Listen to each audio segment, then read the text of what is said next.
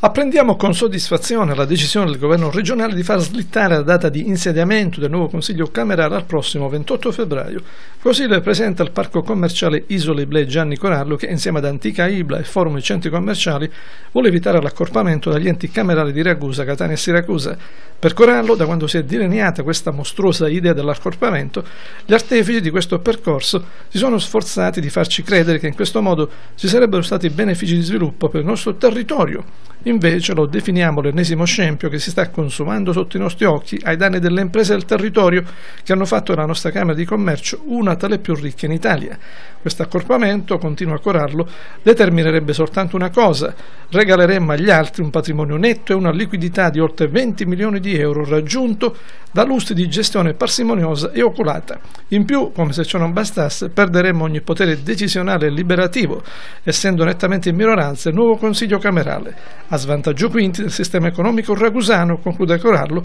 che è sempre distinto in tutta l'isola.